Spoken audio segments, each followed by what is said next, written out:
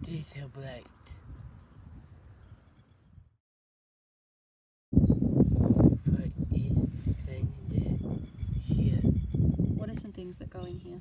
salad, What kinds? tomatoes, and carrots, yeah, beans, Mexican,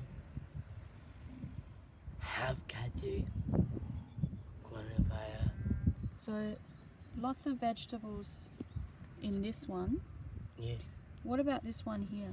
So meat, What kinds of meat might go in that one? hamburgers, Hamburgers bread, and bread in there a salad. and salad.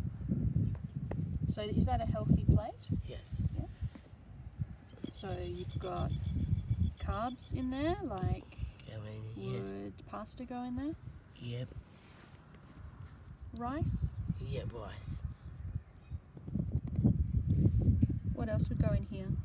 Egg, uh, beans, chicken, fish, beans. Here's heavy food.